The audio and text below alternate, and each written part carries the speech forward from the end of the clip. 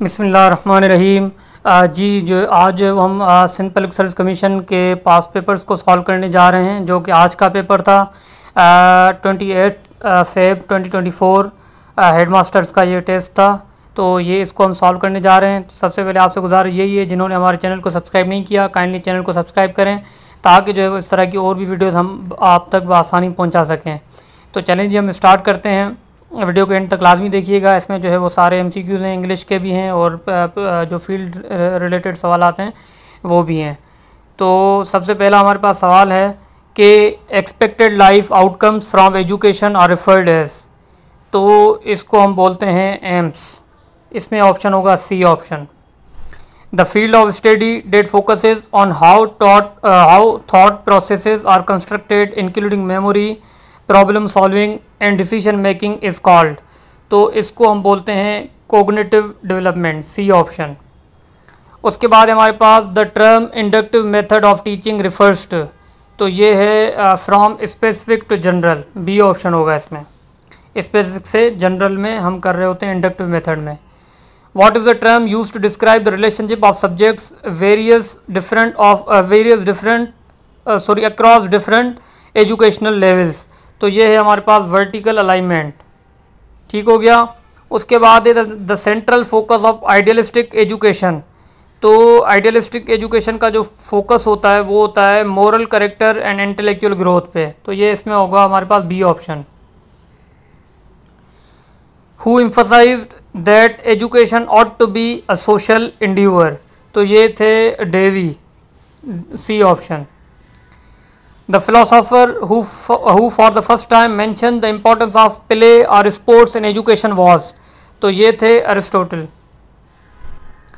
The application of ideas, knowledge and skills to achieve the desired uh, results is called तो ये हमारे पास है problem solving A option the use of a physical punishment for the class management is called तो इसको हम बोलते हैं corporal punishment D option period starting from zygote to, to, to 250 to 300 days is. तो ये हमारे पास है प्री नेटल ए ऑप्शन होगा इसमें. उसके बाद हमारे पास which of the following words mean extremely bad और अपेलिंग तो ये हमारे पास है एट्रोशस ए ऑप्शन होगा इसमें. विच सेंटेंस अब ये इंग्लिश के सवाल आते हैं एलेवन से. Which sentence is an example of the passive voice the committee will review the application नहीं ये एक्टिव है. The application will be reviewed by the committee ये जो है पैसिव है. बाकी आप आ, बाकी ऑप्शन देखेंगे वो भी एक्टिव ही हैं हमारे पास. तो इसमें हमारे पास होगा B option choose the sentence that correctly employs the future perfect tense तो ये बहुत आसान सवाल है. She will have completed the report by tomorrow ज़ाहिर सी बात है ये जो है वो हमारे पास आ, आ, क्या है? फ्यूचर परफेक्ट है. बाकी जो है वो आपको फ्यूचर और फ्यूचर कंटिन्यूस इस तरह से मिल रहे होंगे और प्रेजेंट टेंस मिल रहा होगा। तो ये हमारे पास ए ऑप्शन होगा इसमें। Identify the sentence with correct parallel structure अब इसमें जो है, हमारे पास है कि जैसे she bought a pen a notebook and a book of ink तो ये है हमारे पास, सही है D option which sentence correctly uses as a subjunctive mood तो ये है अब इसमें ये होता है कि विश को ज़ाहिर करना होता है ना, कि अगर मैं ये होता तो ये हो जाता, इस तरह की सिचुएशन होती है। तो इसमें होगा इफ़ ही वर अब जैसे ई ही वॉज़ लिखा हुआ है, नहीं, ये नहीं if he were taller he would join the basketball team तो इसमें हमारे पास ऑप्शन होगा बी ठीक हो गया?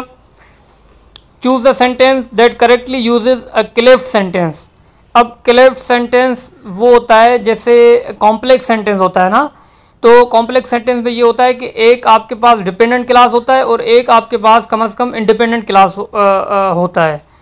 तो अगर उस कंडीशन को हम देखें तो आप ए ऑप्शन ही देखेंगे। It was the wind that broke the window ठीक है ना? ये ऑप्शन बिल्कुल सही होगा क्लेफ्ट सेंटेंस लाए कि इसमें एक इंडिपेंडेंट क्लास और एक डिपेंडेंट क्लास आ रहा है जो कि कॉम्प्लेक्स कॉम्प्लेक्स सेंटेंस की आ, सूरत इख्तियार कर रहा है।